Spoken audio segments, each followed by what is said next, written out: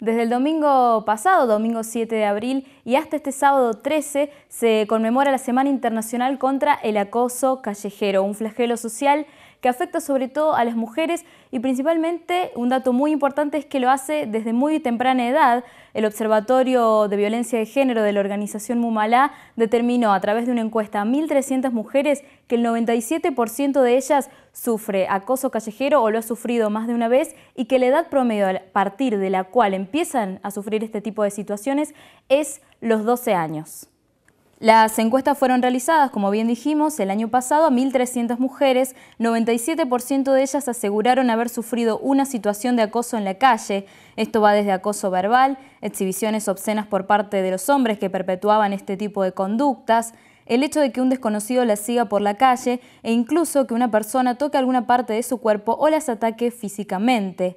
Se les preguntó también qué estrategias llevan adelante para sentirse más seguras en los espacios públicos y la mayoría, el 78% de ellas, dijo ir acompañada de un hombre o una mujer, es decir, no estar solas, evitar estar solas. El 90% evita pasar por lugares oscuros o aislados donde haya poca gente. El 50% admitió utilizar ropa que no llame mucho la atención cuando tienen que salir a la calle.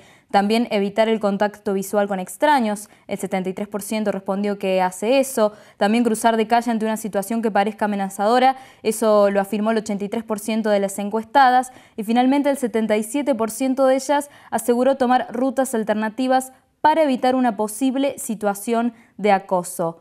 Entre las medidas más extremas, el practicar defensa personal ante un posible ataque, un 14% en este caso, y también un 14% de ellas dijeron llevar gas pimienta o algún elemento para poder defenderse, y esto es lo que dicen las encuestas. Y en el marco internacional de la Semana contra el Acoso Callejero tenemos que recordar que el jueves pasado en diputados se obtuvo un dictamen que tiene que ver con la sanción de este tipo de delitos de acoso callejero. Hay que recordar que los distintos municipios y provincias tienen algunas reglamentaciones o normativas que pueden enmarcar este tipo de delitos, sin embargo no pasan de lo que es horas de trabajo voluntario o alguna multa menor. Lo que pretende este proyecto, que fue presentado una de las diputadas que lo presentó es Victoria Donda de Libres del Sur, es eh, incrementar ese tipo de multas que vayan de los 5.000 a los 15.000 pesos y que eso se incremente en caso de que se trate de que la víctima sea alguien menor de edad o que ese delito lo cometa un funcionario público o un efectivo de las fuerzas de seguridad.